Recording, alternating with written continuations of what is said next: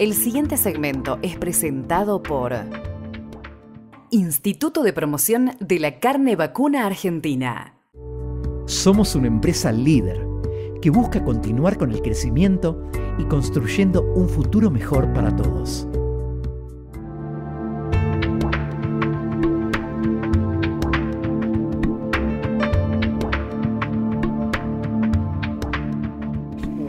De la mano de un consumo creciente y de una mayor faena, la industria frigorífica de Córdoba se está reconvirtiendo y en esa reconversión el cerdo es el principal protagonista.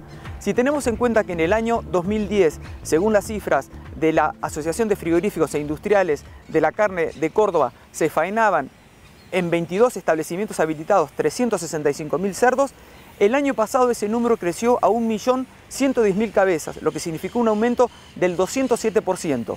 Al respecto, justamente el director ejecutivo de la Asociación de Frigoríficos de Córdoba nos da cómo viene la evolución de la faena tanto de cerdos y de vacas en lo que va del año. Bueno, lo que ya tenemos los datos cerrados del primer bimestre, enero y febrero, y podemos hacer el primer comparativo con los años anteriores. Tenemos que la faena de vacunos estuvo por debajo del bimestre del año anterior en un 12%, 5 puntos más por debajo que nivel nacional que cayó un 7%. Creemos que en el caso de Córdoba el hecho de la poca presencia de público en las sierras puede haber contribuido porque es un factor estacional importante. Y en el caso del cerdo se dio a la inversa. La faena nacional creció el 1% el primer bimestre y en el caso de Córdoba subió un 3%. La existencia de, numerosos criaderos e inversiones que se han hecho en materia productiva se está viendo reflejado en la faena y también otra particularidad es que el cerdo faenado se vende en Buenos Aires mientras que la carne vacuna para consumo no se abastece desde Córdoba o del resto del país a Buenos Aires. Nosotros estamos estimando que el crecimiento de la faena vacuna eh, va a venir de la mano de la habilitación de mercados de exportación.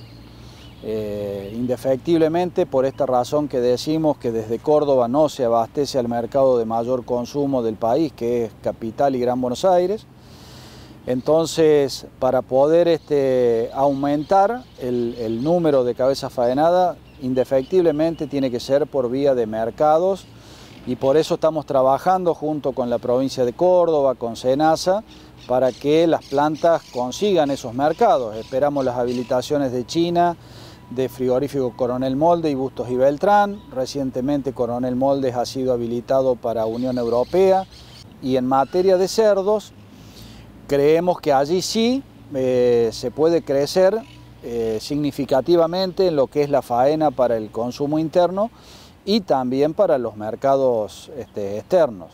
Recordemos que tanto frigorífico Cualitá en Jesús María eh, como la Piemontesa en Brinkman están habilitados para el mercado chino, que han hecho un importante volumen de exportación durante el 2020 y que si todo sigue igual, este año van a superar ese volumen exportado y, hay otros frigoríficos ya haciendo eh, adecuaciones con, miras a obtener alguna habilitación, tal vez no se van a dar durante el 2021, pero ya el objetivo está puesto en, en conseguir algún mercado externo.